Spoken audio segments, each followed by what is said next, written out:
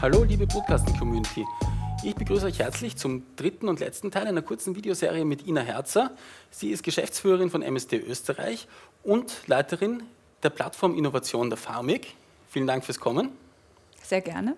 Ja, wir haben in den ersten Teilen unsere Interviewserie über verschiedene Dinge geredet, natürlich darüber, was die Plattform Innovation macht, was ihre Ziele sind, aber auch darüber, dass zum Beispiel die Rahmenbedingungen für die Forschung, gerade im pharmazeutischen Bereich in Österreich, nicht optimal sind und was man da machen könnte. Und äh, was mich jetzt natürlich noch brennend interessiert ist, wir haben so viel über dieses Thema Innovation geredet und haben das immer angestriffen, aber sind eigentlich noch nicht auf konkrete Projekte gekommen. Was ist es denn, woran ganz konkret geforscht wird?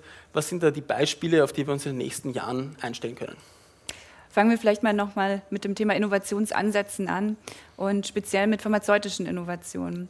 Also die Entwicklung eines neuen Arzneimittels dauert im Schnitt zwölf Jahre. Und wir reden von 5.000 bis 10.000 Substanzen, von denen dann letztendlich genau eine zur Marktreife gelangt. Also das heißt, eigentlich sind schon wirklich neue Arzneimittel echte Innovationen. Aber Innovation findet natürlich auf der Prozessebene auch statt. Darüber hatten wir schon gesprochen. Und da kommen natürlich dann auch Themen wie Digitalisierung oder Artificial Intelligence zum Einsatz. Bei diesem Thema Artificial Intelligence, Digitalisierung will ich einhaken. Man stellt sich ja die Pharmaforschung so als Laie irgendwie noch sehr klassischerweise mit Leuten in weißen Kitteln und Mikroskopen und Substanzen vor. Ähm, was wird da im Bereich von Digitalisierung und Artificial Intelligence konkret gemacht? Was sind da die Potenziale? Letztendlich geht es ja genau dabei um Datengenerierung ähm, und Datensammlung.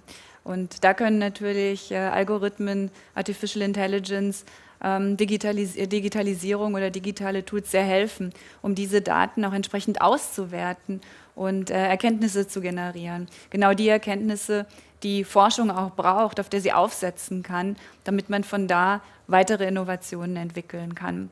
Ähm, es geht aber natürlich auch um das Wohl der Patienten und darum, dass Patienten eine frühe Diagnose bekommen und dadurch auch die, die richtige Therapie schnellstmöglich ähm, von ihrem Behandler.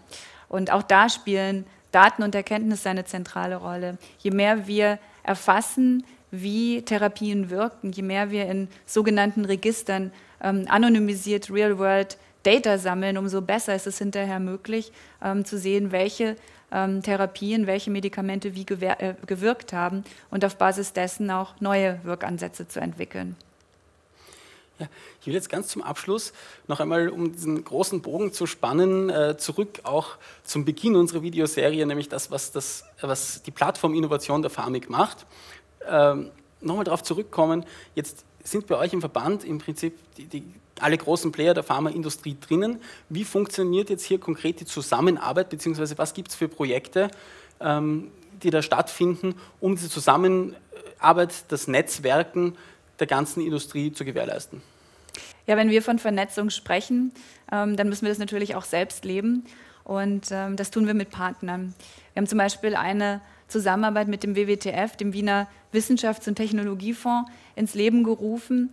Ähm, eine gemeinsame Veranstaltungsserie, bei der wir hochrangige Experten einladen, damit sie gemeinsam zum Thema Innovation und äh, Rahmenbedingungen für gute Innovation sprechen. Und äh, da versuchen wir herauszuarbeiten, was es braucht, um Innovation weiter zu fördern.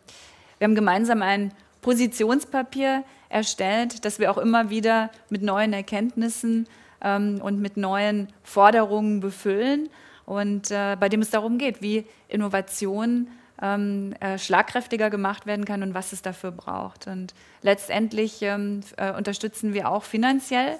Zum Beispiel unterstützen wir ähm, den Health Research Award des österreichischen Netzwerks ähm, der Fachhochschulstudiengänge für Gesundheit in der Kategorie Digitalisierung, die, wie eben besprochen, für uns auch sehr wichtig ist.